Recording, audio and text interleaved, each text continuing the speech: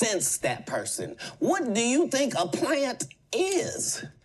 Maybe people don't understand the definitions of these words. These people are not powerful. Satan can't create anything. That includes blessings for his people.